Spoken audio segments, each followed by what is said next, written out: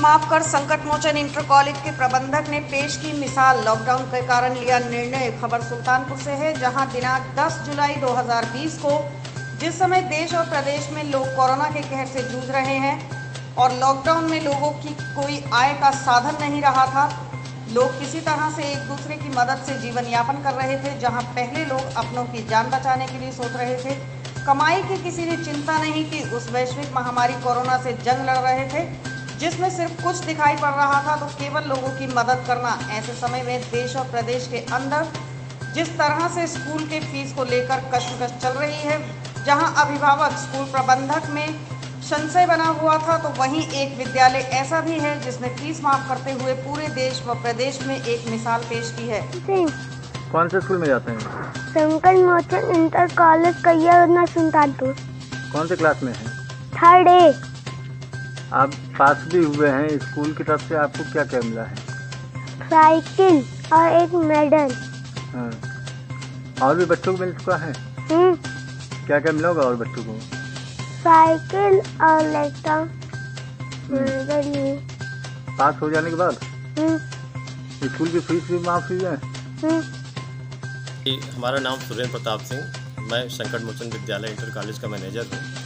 और संकट मोचन विद्यालय का नाम रखने के पीछे हमारा शुरुआती जो जो दौर था जब हम छोटे थे, बचपन का दौर था, उस दौरान ही हम पाँच छः साल की उम्र से ही संकट मोचन मंगलवार के दिन बाबा के निवृत्ता में मतलब व्रत रह, रखता था। और उस दौरान भी हमेशा जब भी जब भी हमारे सामने कभी कोई समस्याएँ आती थी तो मैं उनका नाम सुमिर लेता था तो मेरी समस्याएँ समाधान हो जाती थी। और इच्छाएँ भी हमारी हमेशा वो पूरी करते रहे। हैं इस वजह से जब मैं बड़ा हुआ तो उन्हीं के नाम से अक्सर लोग जो है अपने बाबा पुरखों के नाम से विद्यालय रखते हैं। लेकिन हमारे मन में ये था कि कि अगर इनका नाम रखेंगे तो ये विद्यालय हमेशा ईमानदारी निष्ठा के साथ बच्चों के परिश्रम के अनुसार उनके भविष्य को उज्जवल करता रहेगा। आपने जो है कुछ महीने की फ़ीस माफ़ किया है। टीचरों पे या अभिभावक के ऊपर कुछ फ़र्क मिला है? जी। कुछ महीने की आपने फ़ीस माफ़ किया है। लगभग कितनी फ़ीस माफ़ किया है और टीचर के क्या राय होगा? जी। लगभग हमारे यहाँ तेरह सौ साठ बच्चे हैं और तेरह सौ साठ बच्चों को देखते हुए एक महीने की फ़ीस हमारी लगभग सात लाख रुपए होती है। और सात लाख रुपए के साथ तीन महीने की फ़ीस मैंने माफ़ किया है। लगभग बीस इक्कीस लाख रुपए की फ़ीस हमने माफ़ किया है। और इसके लिए हमने सभी अपने टीचर से मैंने राय लिया और सभी टीचर ने कहा कि ठीक है सर, बिल्कुल माफ़ कर दिया जाए। और उन उन- उनकी तरफ़ से पूर्ण रूप से हमें ये कहा गया कि इस संकट की घड़ी में, जो पूरा विश्व संकट की घड़ी में है, और इस संकट में उन लोगों ने भी मतलब विद्यालय पूरी मदद करने तैयार है। लेकिन हमने ये निर्णय लिया कि उनकी उनकी जो सैलरी है, उससे कोई छेड़खानी हम नहीं करेंगे।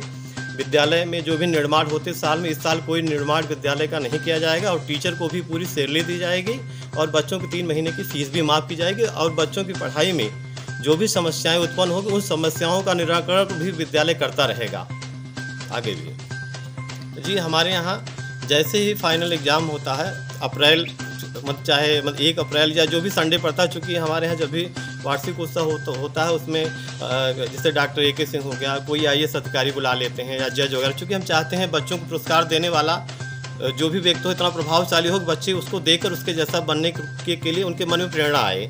इस वजह से पहले तो संडे के दिन रखते हैं। दूसरा है कि बच्चों को जो भी पुरस्कार दिया जाता है उनका मनोबल बढ़ाने के लिए जाता दिया जाता है जिससे बच्चे आगे से आगे बढ़ने के लिए अपने आप को प्रेरित करें और पुरस्कार भी हमारे यहाँ हर क्लास के टॉपर को जो क्लास का चाहे एल के जी का हो चाहे इंटर का हो सबको एक रेंजर साइकिल लगभग पाँच हज़ार रुपये की कीमत की साइकिल दी जाती है। जो जो बच्चा जैसे प्राइमरी सेक्शन में या जूनियर में जो भी टॉप करता है, जो टोटल टॉपर होता है, उसको हम लोग लैपटॉप देते हैं। और और जो हमारे सेकंड टॉपर होते हैं, या थर्ड टॉपर होते हैं, उनको भी वो सम्मानजनक पुरस्कार स्कूल बैग, या फिर स्कूल की पूरी किट किताब कापी के साथ उनको भी दिया जाता है। और हमारे यहाँ चूँकि मतलब तीन दिवसीय गेम्स होता है गेम्स में भी तमाम जो है राष्ट्रीय मतलब गेम्स भी आयोजित किए, उससे भी संबंधित जो लोग उसमें पार्टिसिपेट करते हैं उनको भी उसी दिन पुरस्कृत किया जाता है। लगभग आप मान चलिए तीन से चार लाख रुपए का पुरस्कार हमारे यहाँ साल में वार्षिक उत्सव पर बच्चों को दिया जाता है। हमारे यहाँ हमारे यहाँ सेक्शन एक क्लास में चालीस बच्चे बैठते हैं चूँकि सेक्शन है जैसे एल में तीन है और यू में इसी तरीके से लगातार सेक्शन वाइज है और, और- लगभग हमारे पास मतलब थर्टी क्लासेस टोटल हो जाती हैं।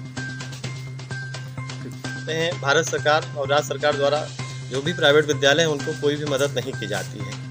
लेकिन इसके बावजूद भी आप सभी जानते हैं, पूरा विश्व पूरा विश्व चाहता है, और चाहता कि अनिवार्य रूप है सभी को शिक्षित होना है। जबकि प्राइवेट विद्यालय जो भी चल रहे हैं, हमारे जैसे छोटे ग्रामीण अंचल में, हम सभी 14 से 1500 बच्चों 2000 3000 बच्चों तक के विद्यालय प्राइवेट हैं, जो बेहतर तरीके से बच्चों को सिस्टमेटिक तौर से सभी व्यवस्थाएँ दे रहे हैं और बेहतर शिक्षा दे रहे हैं। और जबकि हमारे आसपास मैं देखता हूँ हमारे यहाँ सरकारी विद्यालय प्राइमरी है जहाँ पचास बच्चे मुश्किल से सौ बच्चे होना बड़ा ही मुश्किल हो जाता है जबकि वहाँ उन पचास से सौ बच्चों के लिए सरकार दो से ढाई लाख रुपये महीने खर्च कर रही है। और स्थिति क्या है कि उन बच्चों में हमारे बच्चों में ज़मीन आसमान का अंतर होता है कि हमारे बच्चे बेहतर होते हैं उनसे काफ़ी। तो हम गवर्नमेंट से यही चाहते हैं कि, कि ठीक है हमेशा हम आपकी मदद करते रहे। आज भी कोरोना की इस महामारी में हम हम विद्यालय परिवार हमारे वॉल्टियर हमारे शिक्षक आप जैसा भी हम सभी का सहयोग चाहें, हम सभी लोग करने के लिए तैयार हैं। चाहे जिस जगह ड्यूटी लगाना हो या फिर कहीं पर भी आर्थिक रूप से तो हम लोग अपने शिक्षक की बहुत मदद कर रहे हैं, लेकिन फिर भी हम लोग पीछे नहीं हटने वालों में से हैं। जहाँ पर भी आप आप हमारी ज़रूरत समझें, हम लोग आपकी मदद करने के लिए तैयार हैं।